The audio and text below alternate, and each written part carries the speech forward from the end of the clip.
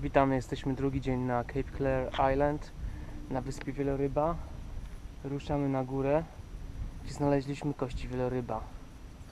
Przed nami piękna zatoka i po waszej lewej stronie góra.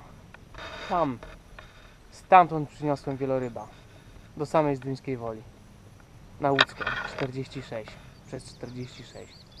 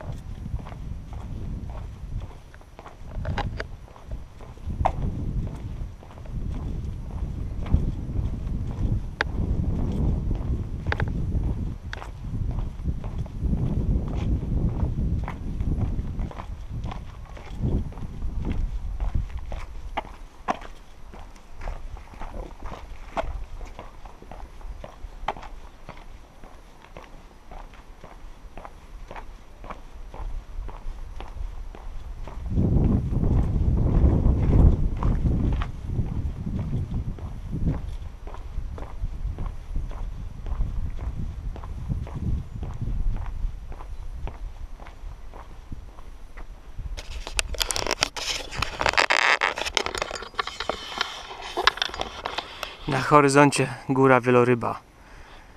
Tam jest biały dom, a tam szary. Z okolistego szarego domu pochodzi mój wieloryb. Tam, stamtąd go zniosłem. Biały, szary, z tego szarego. Później pójdziemy na klify w tym rejonie.